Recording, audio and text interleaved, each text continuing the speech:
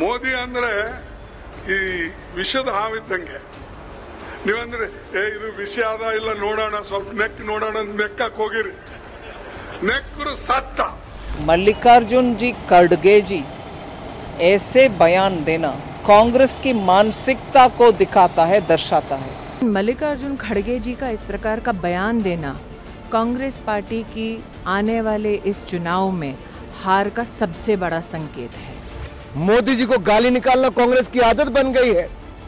कभी चूहा बिच्छू सांप घोड़ा मौत का सुधाकर क्या ये भाषा है? देश के लोग के सामने मल्लिकार्जुन जी कड़गे माफ़ी मांगना चाहिए। मोदी जी और आरएसएस की विचारधारा के बारे में कुछ कहा अलहेड़ी मेरा विचार उनकी आइडियोलॉजी को लेकर है, किसी पर निजी अटैक नहीं है। जब एक तरफ़ राहुल गांधी जी प्यार के दुकान खोलने के लिए भारत जोड़ो यात्रा कर रहे हैं, उन्हीं के अपने पार्टी के प्रेसिडेंट भारत देश के लोकप्रिय प्रधानमंत्री जी को ऐसे शब्दों में वर्णन करना बहुत ही खंडनीय है। I I think it's really very bad आज वो किस प्रकार का जहर उगल रहे हैं, ये देश देख रहा है। ये पहली बार नहीं है कि प्रधानमंत्री मोदी पर कांग्रेस के किसी नेता ने अभद्र अथवा अपमानजनक टिप्पणी की हो। नरेंद्र मोदी की मौत की कामना करने के साथ साथ उनके स्वर्गीय पिताजी, उनकी स्वर्गीय माताजी का अपमान करना कांग्रेस की एक नीति और एक नियत सी बन चुकी है। लेकिन मल्लिकार्जुन खड़गे जी का इस प्रकार का बयान देना कांग्रेस पार्टी की आने वाले इस चुनाव में हार का सबसे बड़ा संकेत है। वो जानते हैं कि अगर उन्हें गांधी खानदान के करीब जाना है तो सोनिया जी के आदेश अनुसार नरेंद्र मोदी को सतत अपमान करना है।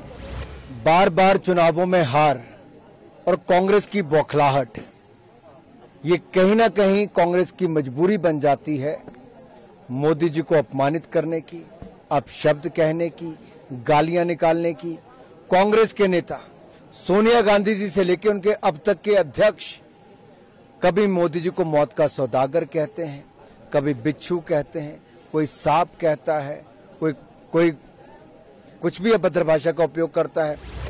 खरगे जी जैसे अनुभवी व्यक्ति, उन्होंने जो आज शब्द कहा और वो जो पार्टी से आते हैं, उस पार्टी की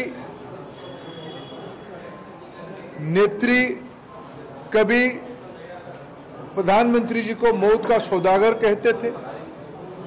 कभी उनकी पार्टी के लोग उनको दुर्योधन कहते थे। कभी उनको गटर की कीड़ा कहते थे।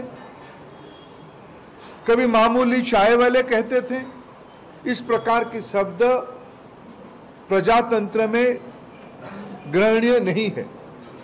हमें लगता है खरगे जी की कुछ मजबूरी रही होगी।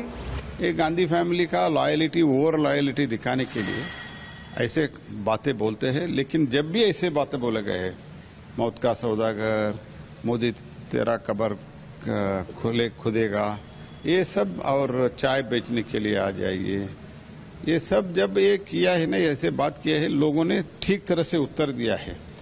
अभी भी लोग उत्तर देगा, कर्नाटक में भी देगा, देश में भी देगा अगर थोड़ा सा भी उनके पास अगर मर्यादा वगैरह ऐसा कुछ है तो पब्लिक लाइफ का, खरगे जी अनकंडीशनल अपॉलॉजी पूछना चाहिए, क्षमा प्रार्थना चाहिए।